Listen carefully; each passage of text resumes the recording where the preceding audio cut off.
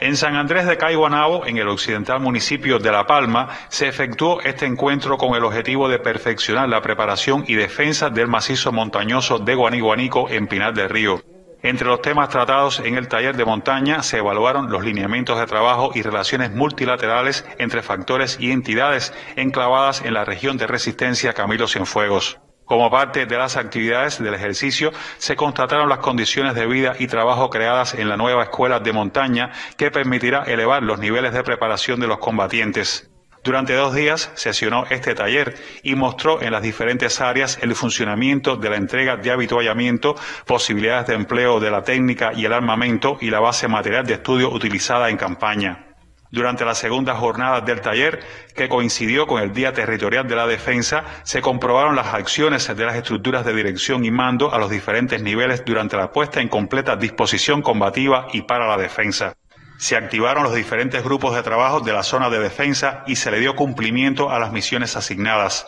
Aún en tiempos de guerra no se descuida la salud de los combatientes y los servicios médicos están activados para quien lo necesite se realizó un ejercicio práctico que consistió en una emboscada de aniquilamiento al enemigo que intentaba apoderarse de una importante zona de montaña y se apreció la preparación de los pobladores en diferentes ejercicios prácticos. Como parte del Día Territorial de la Defensa, se mostraron las capacidades productivas del dispositivo territorial que en tiempo de guerra mantiene su vitalidad para garantizar servicios básicos a las tropas y la población. En reconocimiento al trabajo desarrollado, se entregaron distinciones y diplomas de participación a los combatientes más destacados, ratificando las palabras del general de ejército Raúl Castro Ruz cuando expresó la cordillera de Guaniguanico está llamada a jugar el papel que jugó la Sierra Maestra en las guerras de liberación si el imperialismo intentara agredir nuestro país.